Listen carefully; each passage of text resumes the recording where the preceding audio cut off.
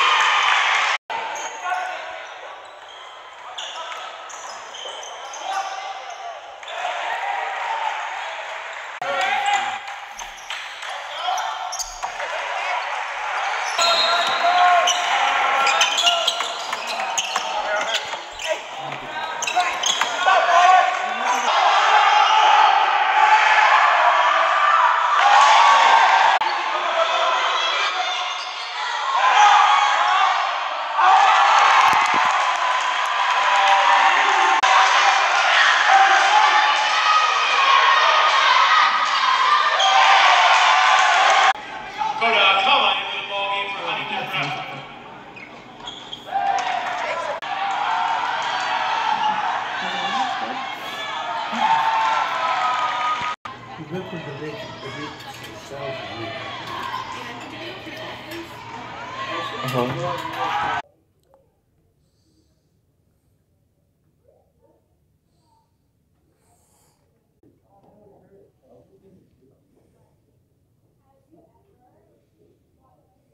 I did.